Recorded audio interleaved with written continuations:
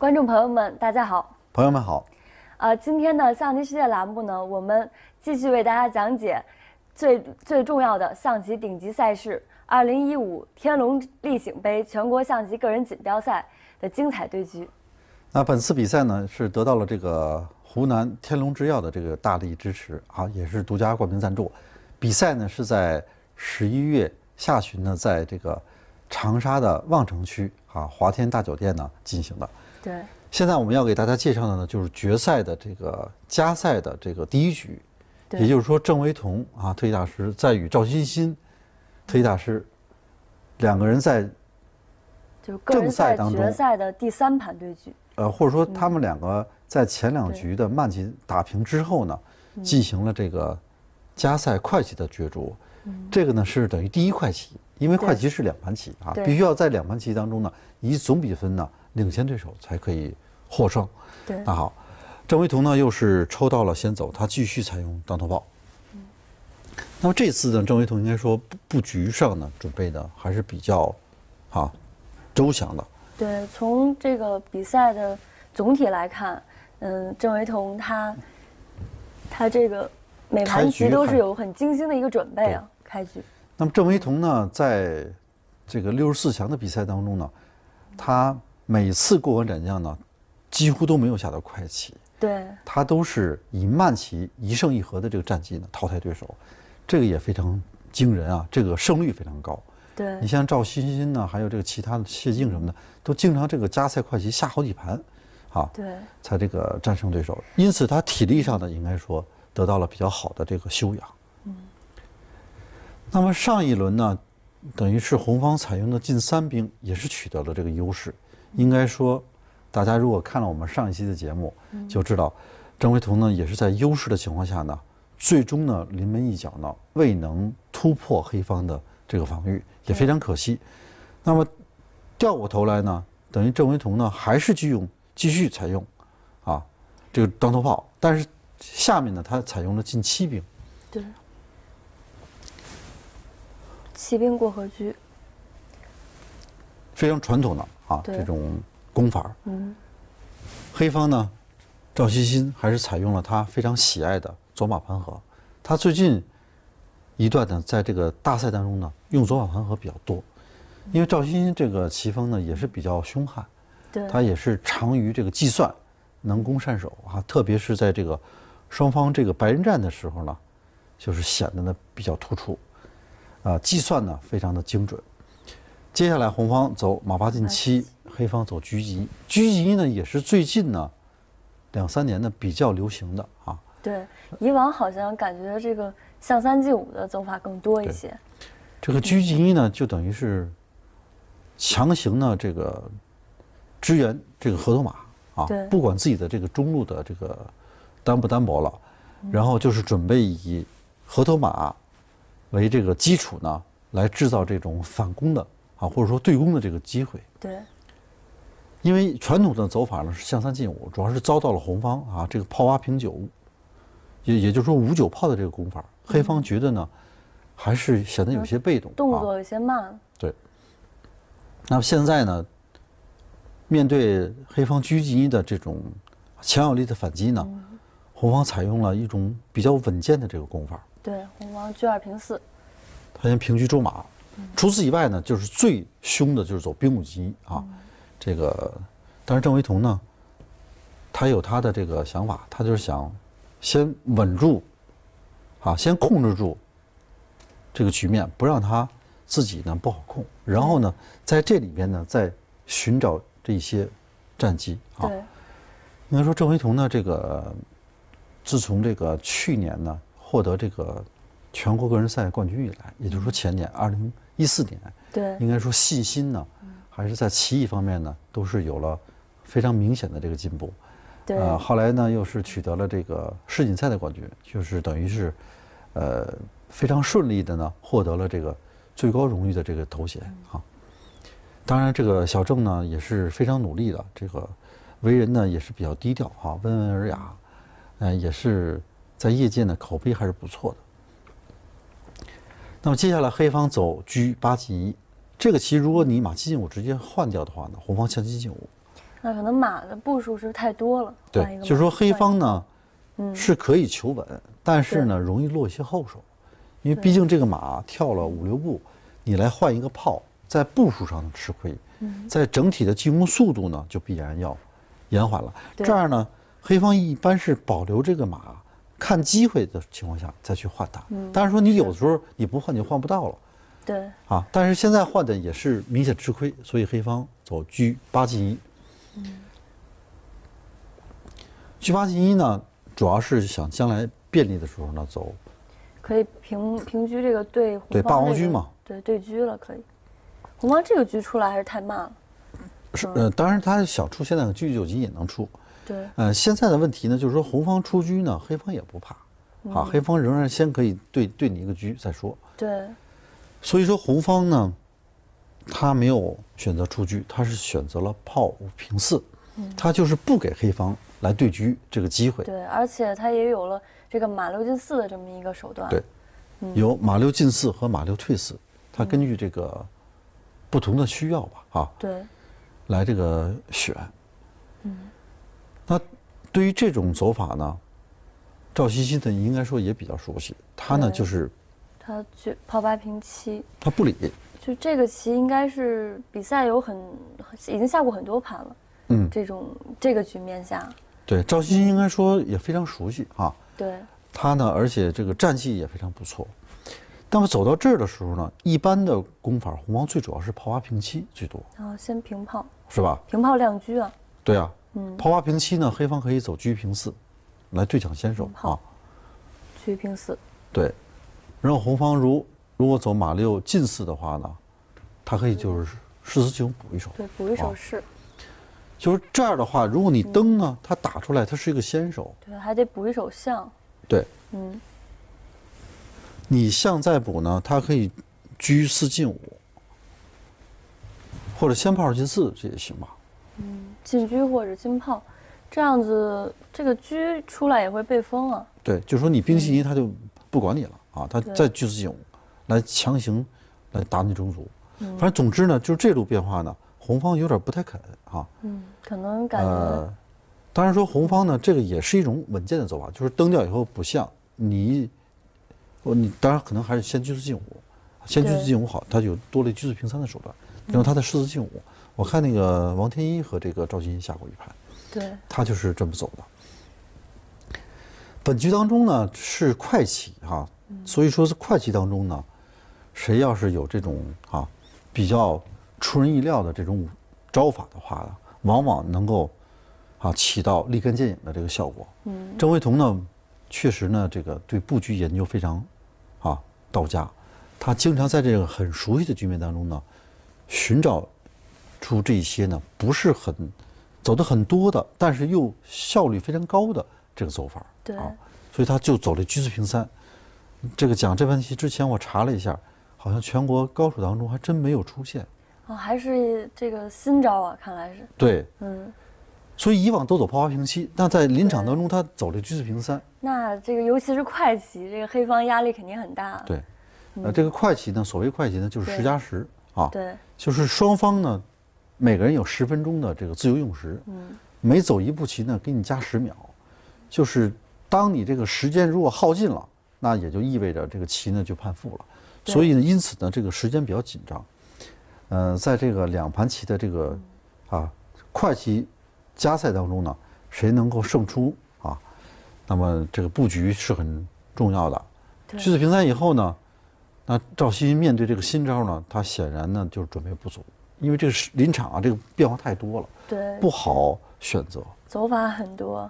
对，比如说啊，黑方呢，我们第一杆摆一个摆中炮，我认为也是可以，哦，环中炮。因为我下步棋呢，我有对车啊，车一平七来对车啊，那现在这个我还要打你中卒啊，这个中兵是怎么防守呢？那他可能会炮四平七，哦，啊先平过来。或者他还有一个凶的，就杀底象。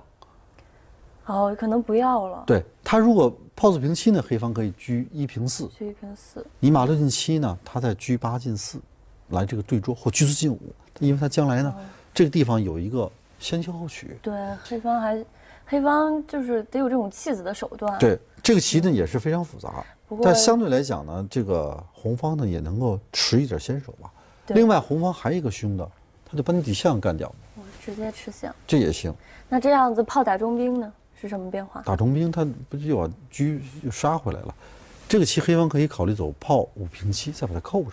哦，再扣上。对，这个棋呢，就是说整体上来看呢，就是也比较复杂。红方吃了个象，但是这个车位比较差。啊，黑方这个，但是这个棋就是像张老师这个黑方，这红方正为同，他肯定是有准备的对。这样黑这样子，他上来七个象，肯定有一定的这个。另外，黑方这个时候呢，嗯也可以走车一平七。先平过来，对呃，以后就以后再走炮七平。对，这儿我保证炮先不丢，但是红方可能会这个时候再炮八平七。那平炮。对。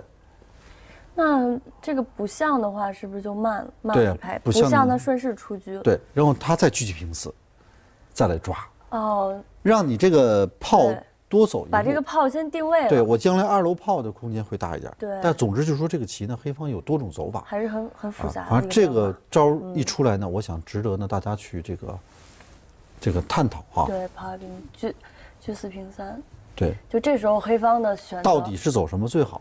对实战当中呢，黑方选择了车一平四，然后红方呢就马六进七，顺便把对方三路卒吃掉。对那么刚才呢，我们两个交流这个棋艺的时候，唐丹说嗯这个棋黑方车四进五没有什么明显的作用，还不如车四进三呢。确实是，黑方不如车四进三，先把这个卒子保住算了啊。不过我想这个赵欣欣的棋艺风格啊，嗯还是偏于这种攻杀的，他不太肯这种车四进三，感觉太稳健了，就是。所以但这个棋呢，就是说，呃，你冲的比较急呢，你后防不稳，因为这个棋表面是有一个吃吃中兵，但是红方一补呢，你就不敢去吃了。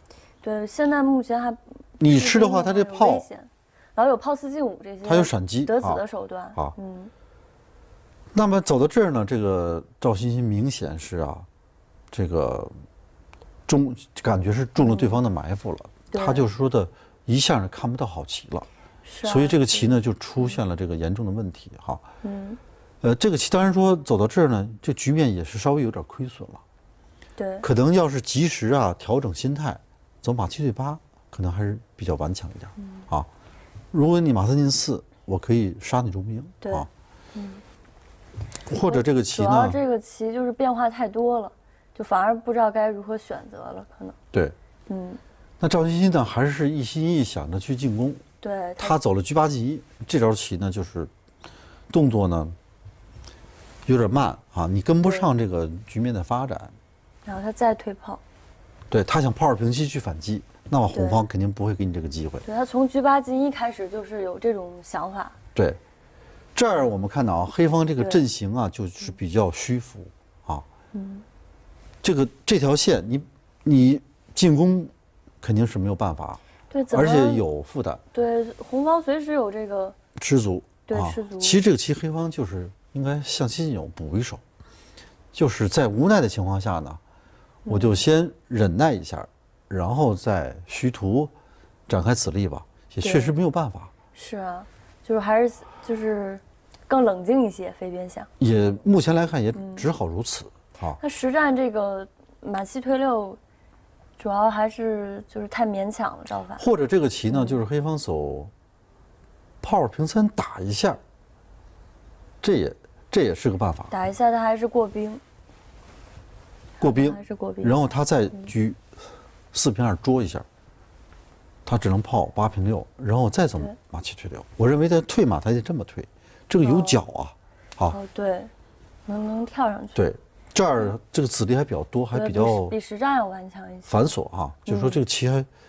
呃，红方不是那么简单就能够取得明显的这种优势。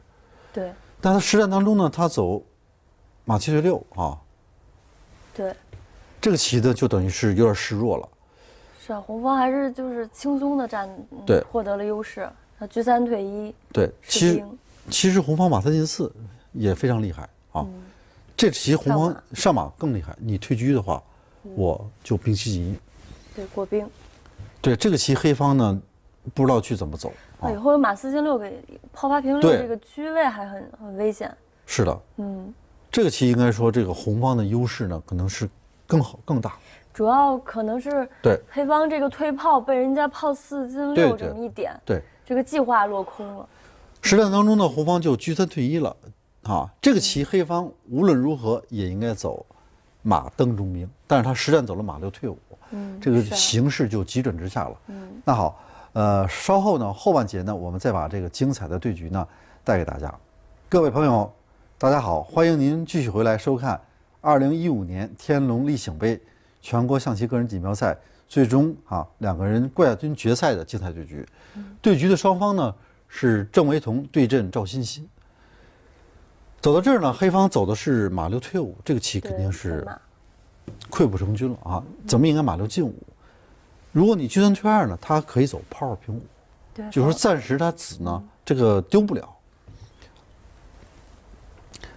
那他实战当中他马六退五了，那么红方这个骑兵呢就推推进了啊，等于黑方呢这个想反击呢，也没有取得这种反击的格局，想防守呢现在又很难去守了。是啊，红方这个子力各自的位置都比较好，那黑方呢慌乱当中呢，又是出现了这个错误，他走了一个车四平三。那么走到这儿呢，大家呢，如果要是对战术意识啊敏锐的话呢，您可能就会对这个棋局呢产生了一些啊感觉。嗯，也就是说，红方现在呢，通过一个非常精妙的这个手段呢，可以一举呢扩大这个优势。当然，并不是说得子啊，就是说红方可以通过一个巧妙的这个战术呢，啊，拓展自己的这个优势。那么，不知道大家有没有看出来，红方就采用非常简洁的这个手段啊。第一个是步骤是马七进五，先把这个马换掉，对。那么黑方只能去飞，对然后红方利用这个炮四退一，一打。对，这个赵欣欣呢，可能是临场真是时间紧啊，没有看到这招棋，嗯是啊，因为这个棋他不能走炮七进五了，你一走他炮四平七一打马，这个打双车，对，别打二怪，这个炮像一个长鞭子似的，你这两个车必丢其一，所以这个赵欣欣呢，临场当中呢，在极短的时间之内呢，还是走得非常顽强，他就是力保自己的大子呢不丢，他走象五进七也是唯一的这个走法啊。但是大子虽然不丢呢，但是整个阵型呢就涣散了，对，红方也是通过简单的这个换子，一打对，他只能打车优势，红方象五进三。现在红方多了一个，黑方只能车三进一来追回。那红方利用这个再次调整阵型，嗯，他平平鞭炮，鞭炮又是一个好棋，因为当你吃马的时候呢，他会回象也可以啊，他实战走飞象，这个都可以。总之呢，我是飞象也好，退象也好，都是先手，然后迅速把车亮出来，这样等于红方呢，嗯净多出一个这个过河兵。对，并且形成这个车双炮的这个强大攻势。应该说，这个棋走到这儿呢，呃，打呃这个专业棋手一看都明白了，这个棋基本上红方就是胜势的这个局面啊，对，因为黑方这这个车马炮子力都分散了，对嗯，黑方很无奈，只能先把炮躲开。对，炮二平八，郑维彤呢，在时间很紧张的情况下呢，他也走得非常的这个啊对，就是双方就是，严谨，嗯，而且呢是每招棋都走得很凶啊。对，那么本次比赛呢，也是得到了这个湖南天龙制药的这个大力的冠冠名赞助啊。这个比赛期间呢，也是为这个广大的棋手们提供了非常好的这个赛场啊、食宿，还有接待方方面面的这个安排，也非常的周到。那么这次这个总体来讲呢，这个广大棋手呢和这个代表队呢，也感觉的有一种这个呃宾至如归的那种感觉哈。对，那么也哦希望我们这个人赛将来那个能够越办越好，能给嗯大家呢都像这种，呃，天龙立醒啊这种情况的呃条件下呢，给大家创造更好的这个比赛的环境和条件。然后黑方只能走马三退五，然后红方炮九进四。这个棋黑方呢确实是啊无可奈何了，因为这个车啊还拔不回来。对，没有办法防守，这个马炮呢，这个位置也不对了啊，对他所以说黑方呢，就是这个马也没有地儿跳，马五进四跳不上来，打着对，这个中卒，炮劫将也太厉害了，没办法。打中兵，嗯，所以他是张东这个地方他走的非常好，他就是走的很简洁，嗯，就是不给你对方呢任何呢喘息的机会。你现在不能狮子进我，狮子进五，他炮二平七一走，就典型的二路夹击炮啊。对，三子归边。对，你出将他点一将打马也行，炮推推也行，基本就是绝杀了啊。对，这个我想大家都一目了然。那黑方只能走上将啊，如果不丢子的话，能够上将。嗯，然后这个时候呢，红方走车八平三，这个棋就是红方，就是说也也不逃炮啊，就是也让黑方这个换子，对，就是还是挺简单的这种走法。后来呢，我专门看了研究了一下这个郑惟桐这种走法，他确实呢，他比较实用，嗯他也不走啊，就是特别复杂的棋了。我升车炮兵怎么去攻你啊？然后我车升炮怎么杀死你啊？对，怎么想着入局？他呢就是很明确明快，我现在平车吃你马抽你炮，那只能换子。对黑你黑方只能马进八对啊，用马去换炮，他不吃马嗯啊，其实他吃马也也是基本上胜势。吃马这个黑炮可能也他的炮呢，就是说比马会灵活一点。对好，他呢车点将，他让你留这个比较笨的马。对你这个马呢，肯定是不是炮灵活，因为你这个棋不能上将。如果你上将，如果你上将，他吃了你这个马，你这个马还是没有路，。还是很危险。你马八进六，他车二退二又捉，嗯，你这个马就基本就对，这还有推炮打马的棋。对你就是很难受啊！我就捉你就行，就带着先捉你，你就得马六退五，我一点将，你要马六退七，我点将再捉就捉死了。对，所以他很明显他不能上将，所以都是黑方只有这一路下法，只能回马。然后红方呢就很简洁把这个炮吃掉。对，这个黑方这个马也也很危险，以后要丢的感觉。对，嗯，黑方这么单纯的保呢，他也来不及啊，对他也只好先去尽可能杀兵，把红方这个物质力量呢，这个尽量的消灭一些啊。这个棋要是细一点的话，也还有可能兵九级再再拱拱啊先拱一。我保留两个兵，万一我要是杀不下来呢？但是郑惟桐呢，也确实呢，呃，他走得很啊对他直接就简洁明了嗯。他的意思就是说，我就留一个兵就够了，然后我用这个炮呢，绕过来以后把你这个马呢，嗯就给你消灭掉。我剩车炮兵，我就够用了。对，或者说我剩车炮，嗯，你由于残了十项，你也很难守和了。所以他这个挺这个老练的。对。然后呢，赵鑫鑫也没办法了，这个马也守不住了，下将他就吃，你退向关他，他打你个士也，够了。关不住。对他居五平九也就吃兵，赶紧先消灭这个物质力量。对，嗯，所以说这个棋啊，主要是这个，呃，开局啊，这个赵鑫鑫太被动了啊。对，还是这个郑惟桐的这个新招，就是收到了很好的一个效果。对，嗯郑惟桐呢，他也走得很简洁，他就把那个兵都弃了啊，他就把你这一个马拉死，啊，嗯因为他，因为你车一平六，你也不能这么保，保我就退车抽车了。对，居还有危险。啊，所以他所以他没办法，只能捉一下这个马，这个兵。对，嗯，呃，那红方就弃兵就是长驱直入。对，下兵。应该说呢，这个这次比赛呢，这个赛制呢还是较为新颖的，对，就是他们两个人在两盘这个都是慢棋啊，没有分出胜负的情况下呢，就是进入了这个第三局和第四局的这个加赛加赛的。快棋。那么这盘棋我们给大家介绍的呢是这个第三局，也就是说的第一快棋的这个局面。这盘棋很明显，这个红方呢优势，最终也是郑惟桐呢取得了这个胜利。对，但是在第四盘的比赛当中呢，这个赵欣欣呢又很快呢把这个棋呢扳了回来啊。对，呃，应该说那盘棋呢，这个这个郑惟桐可能是自己输的有点稀里糊涂，就是说这个比赛，刚才唐丹呢这也说了，是，就是这种比赛啊，他对人呢要求比较高，对，一个是你要棋艺水平比较高，再有一个呢连续作战，你这个体力能不能跟上也很重要。对啊，这个疲劳战。就两个人在比赛的时候，最多很有可能下下七盘棋。对，下满七盘。对，而这个他们两个人的决赛的时候呢，是下了六盘棋。对，而且就是其中呢，从慢棋的第二盘一直到最终的加赛的超快棋，有五盘棋，他们都是在一个上午的时间，对就是说已经下了五六个小时，对，来最终那个决出胜负。这个体力上，这个对。这个很费神。所以说，这个这次比赛呢，也就是二零一五年这个天龙立醒杯的个人赛呢，有好几位这个全国冠军的特级大师呢没有报名参赛，其中有赵国荣。啊，当然这个岁数也比较大了，行行政事务也比较多。刘大华啊，这都六十多岁老将，这个很容易理解。